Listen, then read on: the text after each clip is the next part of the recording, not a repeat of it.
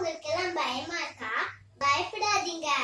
speedo ஓட்டுற வண்டி நீங்க யூஸ் பண்ண செல்போன் வீட்டிலே மறந்து வச்சுட்டு வந்த ஹெல்மெட் நீங்க சாப்பிடுற ஜங்க் ஃபுட் இதெல்லாம் தான் ஏமாற்று